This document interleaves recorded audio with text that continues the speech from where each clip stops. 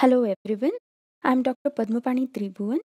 In this video, I'm going to discuss depth first search algorithm in artificial intelligence.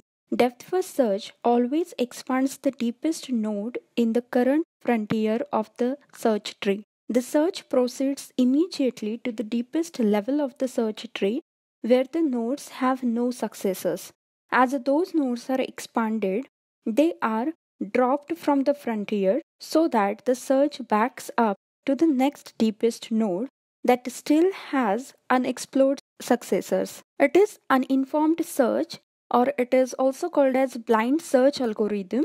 It uses LIFO queue that is the stack data structure. A LIFO queue or a stack data structure means that the most recently generated node is chosen for expansion. This must be the deepest unexpanded node because it is one deeper than its parent which in turn was the deepest unexpanded node when it was selected. Now let us try to solve this problem by DFS. Consider this graph. In this graph,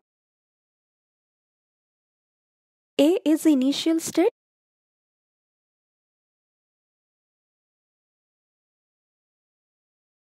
and G is a goal state. The algorithm will start with node A. It will use LIFO queue that is stack data structure. Then here we will write the visited nodes. First node A will be added to the stack. It is not a goal state so it will be explored further. There are three nodes adjacent to A, node B, node C and node D. Out of these three nodes, any one node will be considered and it will be expanded further to reach to the deepest level. So let us select node B. So node B will be added to the stack as it is not a goal state. Then it will be expanded further and it will be added to visited nodes. Uh, from node B there are two different paths. One is to node E and another one is to node C. Let us select node E.